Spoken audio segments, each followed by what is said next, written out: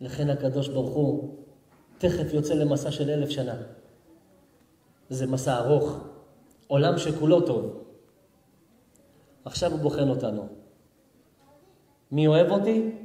מי לא.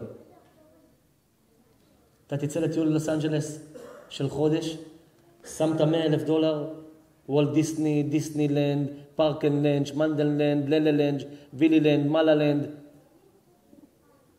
מסעדות, גורמה, חודש שלם של טיול בארצות הברית, מאה אלף דולר. תגיד לי אתה, אתה תיקח איתך בן אדם שלא אוהב אותך? לא. אחד שמקנא לך? לא. אחד ששונא אותך? לא. אחד שבוגד בך? לא. מי תיקח איתך? מי שאוהב אותך ומי שנאמן לך. זה מה עושה הקדוש ברוך הוא בעולם היום, הוא עושה ברור. אני יוצא איתכם למסע של תחיית המתים ועולם הבא שזה עולם הזה, עולם שכולו טוב. ואני עכשיו בודק אתכם, מי איתי, מי לא איתי. מי נאמן לי, מי לא.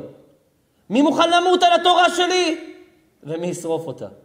אני בודק אתכם. אתם גם בשעת הצער אתם איתי? גם בחוסר אתם שלי? גם שאתם לא בוגדים בי? גם שקשה לכם אתם מודים לי? ואם יש לכם קצת ממון אתם משקיעים בי? ממה שהבאתי לכם אתם מחזירים לי? אתם שלי. אני אצא למסע איתכם.